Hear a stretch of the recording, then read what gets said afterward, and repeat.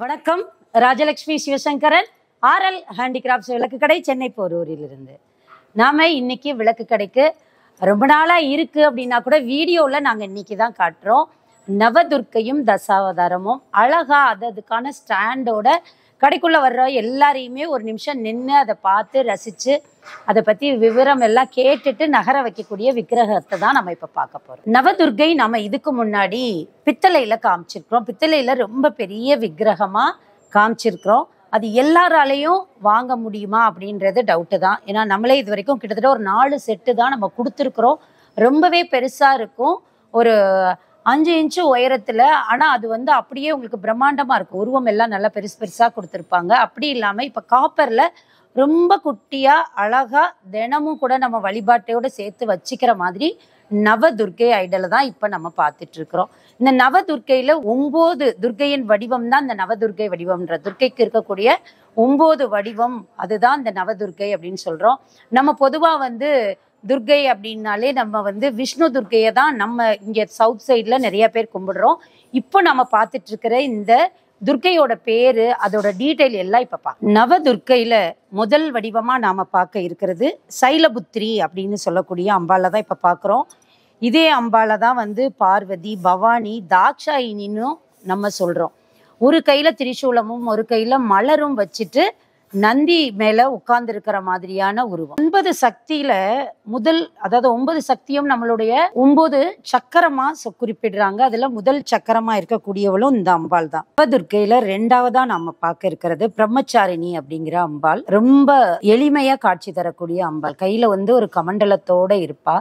எதனால அப்படின்னா சிவபெருமான அடையணும் அப்படின்னுட்டு பல வருடமா தவம் புரிஞ்சாலாம் அதனாலதான் கையில கமண்டலத்தோட வந்து காட்சி தர்றா. இவளுக்குன்னு தனியா வாகனம் எதுவும் கிடையாது. நடந்தே தான் செல்வாளாம். ரொம்ப பொறுமையை தரக்கூடிய அன்னை அப்படின்னு சொல்றாங்க. நவதுர்க்கையில மூணாவது தேவியா இருக்கக்கூடியவங்க சந்திரகாண்டா அப்படின்னு சொல்லக்கூடிய அம்பாள். பத்து கரங்களோட நிலவையே தன்னுடைய மூணாவது கண்ணா வச்சு இருக்கக்கூடிய அம்பாள். இவளோட பார்வை வந்து நம்மளோட கஷ்டங்கள் எல்லாத்தையும் நிமிஷத்துல போக்கிடுமா இவ உடம்புல மூணாவது சக்கரமான மணிப்பூரத்துக்கான அம்பாள் அப்படின்னு சொல்றாங்க. இந்த தேவியோட அருள் கிடைச்சது அப்படின்னா தெய்வீக சப்தம் எல்லாம் நம்மளுக்கு கேட்குமா?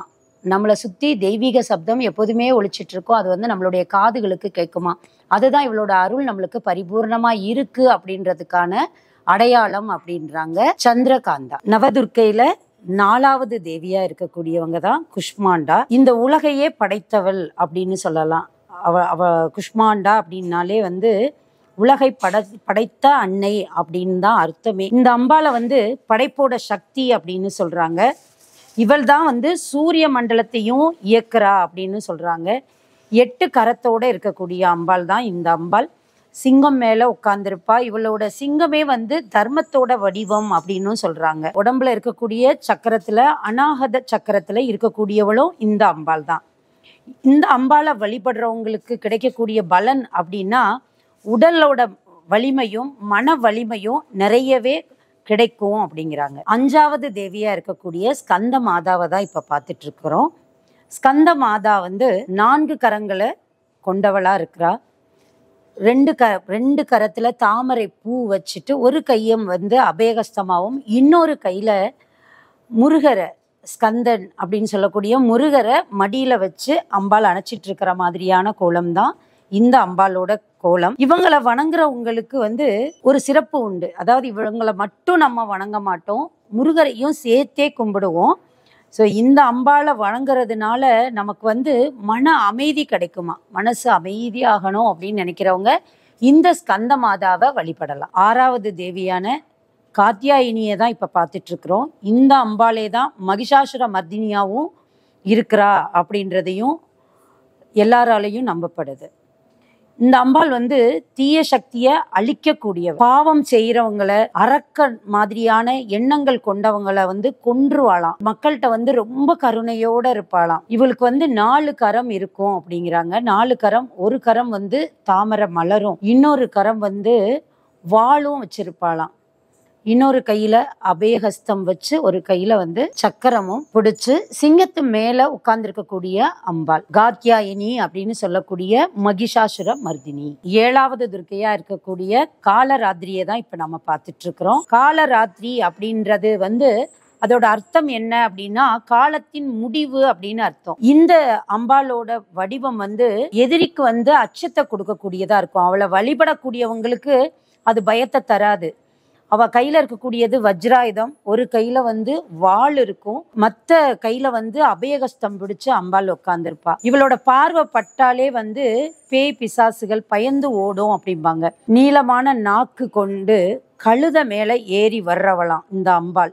நவதுர்க்கையில எட்டாவது துர்க்கையான மகா கௌரியை தான் பார்க்குறோம் மகா அப்படின்னாலே பெரிய அப்படின்னு ஒரு பொருள் உண்டு. கௌரி அப்படின்னாலே வந்து அம்பாள் பெரிய அம்பாள் இவ அப்படிங்கிறாங்க. முன்னாடி வந்து பார்வதி வந்து சிவனை நோக்கி தவம் செஞ்ச போது அந்த தவத்தோட கடுமையினால் அவளோட உடம்பே வந்து கருப்பா மாறிடுச்சான் அப்படியே கலரே வந்து கருப்பா மாறிட்டாங்களாம். ஆனா அவளோட தவத்து சந்தோஷப்பட்ட சிவபெருமான் வந்து அந்த அம்பாளை வந்து கங்கை நீரால வந்து நீராட்டினாராம். உடனே அந்த அம்பாள் அப்படியே வெண்ணிறமா அப்படியே மாறினாலாம் அதனால தான் இந்த அம்பாள் வந்து அப்படியே உடம்போட உடம்போட கலரே வந்து பால் நிறத்தில் இருக்கிற மாதிரி இருக்கக்கூடியவள் தான் இந்த மகா கௌரி. இந்த அம்பாள் நான்கு கரங்களோட காட்சி தர்றா. இந்த அம்பாளை கும்பிடுறதுனால நம்ம வாழ்க்கையே வந்து வசந்தமா மாறுமா. பக்தரோட பிரார்த்தனை எல்லாத்தையும் உடனே நிறைவேற்றி தரக்கூடிய அம்பாளா இருக்கா அப்படிங்கிறாங்க. அம்பாள் வரக்கூடிய வாகனமுமே வெண்மையான காளை அப்படிங்கிறாங்க. அந்த அம்பாள் முழுக்க முழுக்க வெண்ணிறமாவே காட்சி தரக்கூடிய அம்பாள். நவதுர்கையில ஒன்பதாவது தேவியா இருக்கக்கூடிய சித்தி தாத்திரியை தான் இப்ப நாம பார்த்துட்டு இருக்கிறோம். சித்திகள் அப்படின்னாலே அனிமா மகிமா ஹரிமா லஹிமா பிராப்தி பிராமகாமியம் வாசித்வம் ஈசத்வம் என எட்டு விதமான சித்திகளையும் நமக்கு தரக்கூடிய அம்பாளா இந்த அம்பாள் இருக்கிறார் சித்திதாத்ரி பொதுவாக வந்து தாமரை மலர் மேலே தான் உட்கார்ந்துருப்பாங்க. அவங்களுடைய வாகனம் சிம்ம வாகனம். இந்த அம்பாள் கரங்களில் வந்து தாமரை சங்கு சக்கரம் இது எல்லாமே வச்சு அவ்வளோ அழகாக காட்சி தர்றா.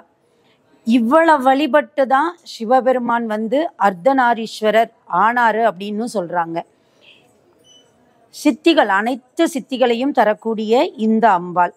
சித்தர் கந்தர்வர் தேவர் முனிவர் மனிதர் யட்சர் என எல்லாராலையும் வணங்கப்படுபவளும்.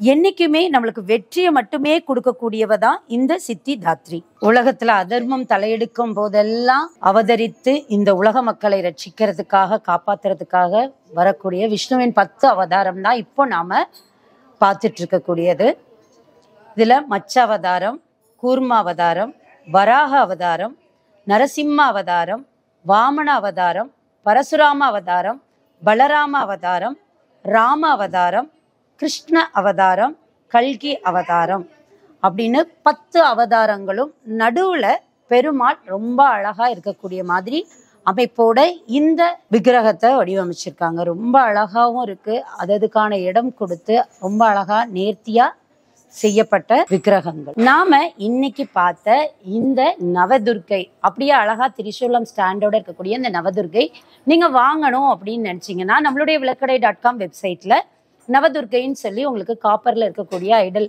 கேட்டகரியில இது அப்படியே உங்களுக்கு செட்டாவே கிடைக்கும். அதுலேயே நீங்க ஈஸியா ஆர்டர் பண்ணிக்கலாம். அதே மாதிரி இந்த தசாவதாரமும் அப்படிதான். காப்பர் ஐடல் கேட்டகரியில உங்களுக்கு இது கிடைக்கும். எனக்கு அதெல்லாம் பண்ண தெரியாது அப்படின்னு நினைக்கிறவங்க தாராளமா நம்மளுடைய வாட்ஸ்அப் நம்பருக்கு தொடர்பு கொள்ளலாம். இந்த வீடியோலயே உங்களுக்கு அந்த வாட்ஸ்அப் நம்பர் நம்மளுடைய வெப்சைட் எதுவும் உங்களுக்கு கீழேயே அப்படியே கொடுத்துருக்கோம். நீங்க ஈஸியா செக் பண்ணி இந்த ப்ராடக்ட்டை நீங்க வாங்கிக்கலாம். மீண்டும் இதை மாதிரி ஒரு நல்ல பதிவோட விரைவில் உங்களை சந்திக்கிறேன். அது வரைக்கும் நன்றி. வணக்கம்.